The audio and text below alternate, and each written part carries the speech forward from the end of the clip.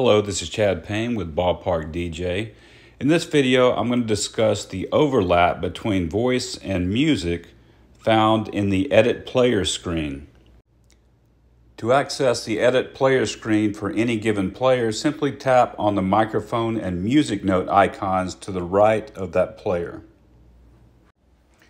If your player is set up with both voice and music, you will see the overlap represented with yellow and blue blocks. The yellow block represents the voice and is typically around five seconds. And the blue block represents the music, which defaults to 20 seconds, but I tend to recommend users set that music to a longer duration, such as 40 or 60 seconds, so they give themselves more runway after the voice is played. And you can always hit the stop button when it's time to stop the music when the batter steps into the box. Above the slider, you have text, which reflects where the music and voice begin and end. With our current setup, the music begins first, it plays for 20 seconds, and the voice begins 2.4 seconds after music begins, and then plays for 6 seconds until the 8.4 second mark.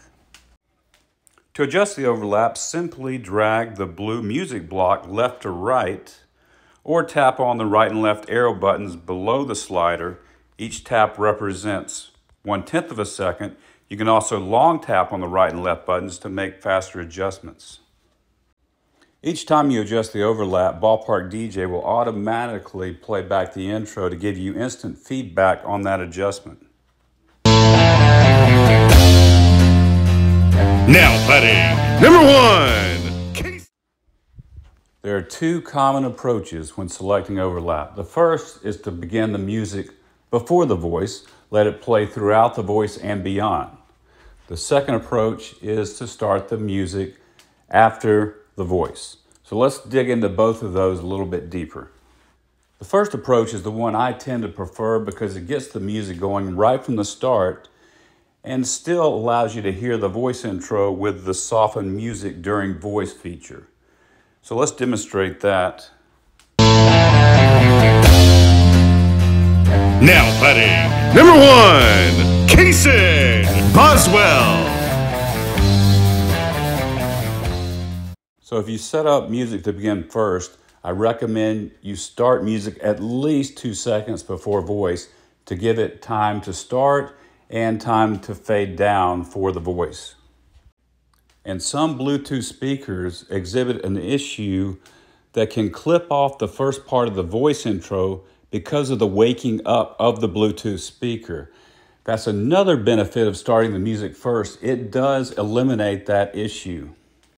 And the second approach of playing the music after the voice might be used in a situation where there's fast paced games such as coach pitch, where you just have to get that voice introduction played quickly or in a situation where you just want to hear that voice very clearly without any music overlapping it. So I would recommend if you're doing taking this approach that you start the music maybe 0.3 seconds before the end of the voice. So let me demonstrate.